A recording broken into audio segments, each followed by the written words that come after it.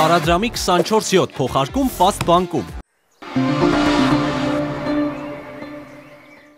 Ռուսաստանից կրկին Մոսկվայում բանակցություններ հայ-ադրբեջանական բանակցություններ անցկացնելու առաջարկ է հնչում։ Պնդում են, թե Բաքուն համաձայնությունը տալիս է, Երևանը ոչ։ Երևանից հայտարարում են, որ հարթակների տարբերություն չկա, բայց արդյունավետությունը կարևոր հարց է։ Սա արդյոք նշանակում է, որ ռուսական հարթակի հանդեպ կա անվստահություն, որովհետև ըստեյության այնտեղ բանակցություններ փաստորեն տեղի չեն ունենում։ Բարև ձեզ հարգելի գործընկերներ, այս շաբաթ էլի այդ նախորդ շաբաթ կամ այդ հարցին անդրադարձել եմ։ Կա որոշակի տրամաբանություն բանակցությունների,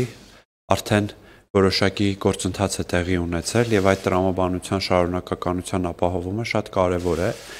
եւ խաղաղության համաձայնագրի քննարկումը եւ այն սկզբունքային հարցերի շուրջ քննարկումները արդեն իսկ նախորդիվ ժամանակահատվածում ընթացել են եւ դա է պատճառը, որ Հայաստանը նշում է, որ կա արդյունավետության հարց եւ մասնավորապես հա եթե բացենք թե ինչ նկատի ունեմ, ապա գիտենք, որ Վաշինգտոնում տեղի ունեցել մի քանի ռաունդ արտգործնախարարների մակարդակով բանակցություններ եւ Բրյուսելում տեղի ունեցել երկրների ղեկավարների մակարդակով բանակցություններ, որտեղ համաձայնեցվել են սկզբունքային հարցերը ակնկալվելիք խաղաղության համաձայնագրի շուրջ։ Եվ շատ կարևոր է, որ այս գործընթացը շարունակվի եւ կրկին բանակցությունները հետ չվերադառնան զրոյական կետի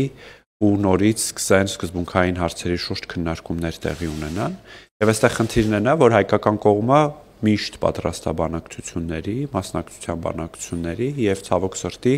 վերջին ամիսների ընթացքում մենք տեսնում ենք, որ Ադրբեջանն է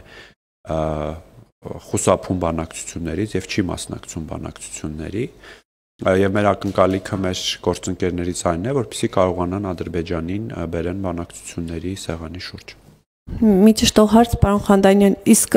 նոեմբերի 9-ի փաստաթղթի ճակատագիրը հաշվի առնելով, արդյոք հայկական կողմը վստահում է Մոսկովյան հարթակին, եթե այնտեղ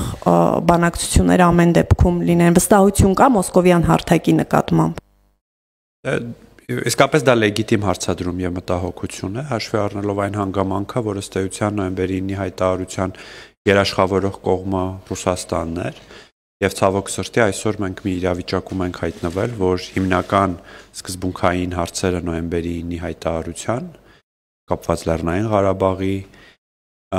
հայերի անվտանգության ապահովման եւ Լեռնային Ղարաբաղում մնալու կապված Լաչինի միջանցքի հետ ըստ էության չեն իրագործվել, խափանվել են եւ այստեղ այդ լեգիտիմ հարցադրումը եւ մտահոգությունը մնում է։ Կն այդուհանդերձ այդ մտահոգությունը կա, որ եթե այնտեղ ինչ որ փաստաթուղթ ստորագրվի, ռուսական կողմը որպես միջնորդի արդյունավետ չի հանդես գա ինչպես գործընկերս նշեց, այո, գոյություններ նոյեմբերի 9-ի հայտարարություն, հողի վրա ինչ տեղի ունեցել, տեղի ունեցել բոլորիս ուրեմն աչքի առաջ եւ ըստ էության թե վստահությունը, թե տրամադրվածությունը բխում են իրողություններից։ Իսկ արդեն հարթակ հարթակների հետ կապված մենք ոչ մեկ անգամ նշել ենք, որ Հայաստանի Հանրապետության համար առաջնայինը ուրեմն այն է, որ սկզբունքները պահպանվեն այն հարթակներում, որտեղ տեղի կունենան բանակցությունները։ Եվ սկզբունքների մասին մենք ոչ մեկ անգամ նշել ենք։ Դա տարածքային ամբողջականությունների ճանաչումն է, ուրեմն ճանապարհների ապաշրջափակումն է, սուվերենության յուրաքանչյուր երկրի, ուրեմն սուվերենության ներքո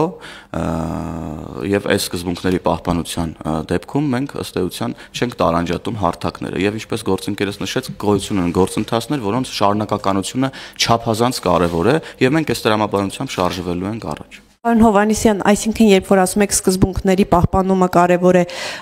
կասկածներ կան, որ ռուսական կողմում չեն պահպանվի այդ սկզբունքները։ Ես արդեն նշեցի ձեր նախորդ հարցին վստահության մասին, որ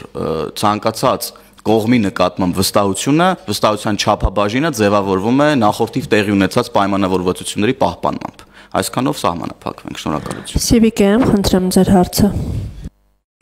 Դուք նշեցիք, որ Ադրբեջանը պարբերաբար խուսափում է բանակցություններից, մասնակցելուց բանակցություններին եւ հիմա եթե ռուսական Ռուսաստանում ինչ-որ այդպիսի բանակցություն կազմակերպվի Երակոմ եւ Հայաստանը չներկայանա, չի ստացվի, որ այս անգամ էլ Հայաստանն է խուսափում։ Դուք հարթակն եք մատնանշում այնտեղ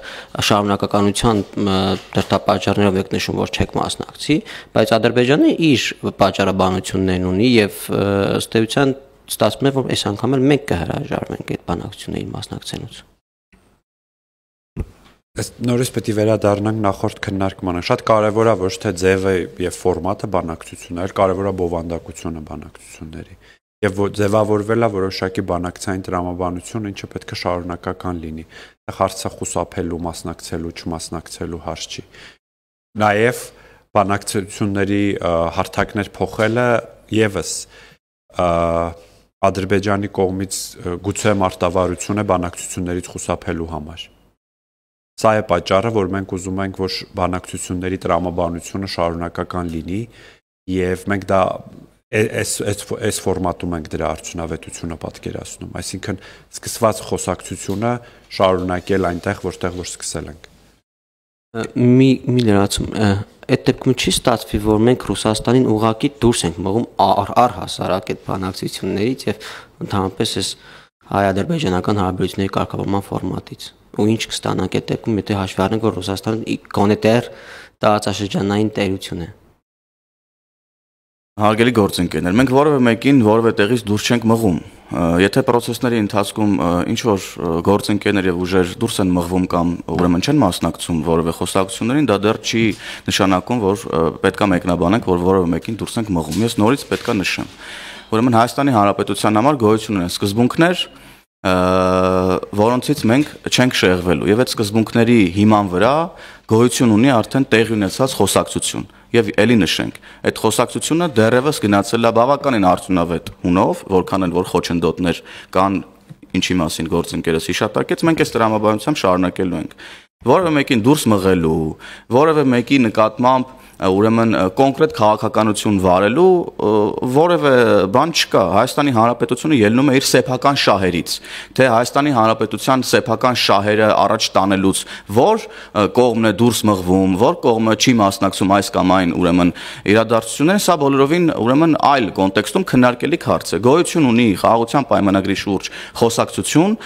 եւ այս խոսակցության համար կան արդեն իսկ ձևավորված հարթակներ եւ մենք պատկերացնում ենք խոսակցության շարունակություն այդ հարթակներում, որը ավելի արդյունավետ կլինի եւ ավելի շատ կսպասարկի Հայաստանի Հանրապետության պետական շահը։ Սա ասվում է նաև ելնելով այն իրողություններից, որոնք արդեն իսկ տեղի ունեցել բոլորիս աչքի առաջ։ Շնորհակալություն։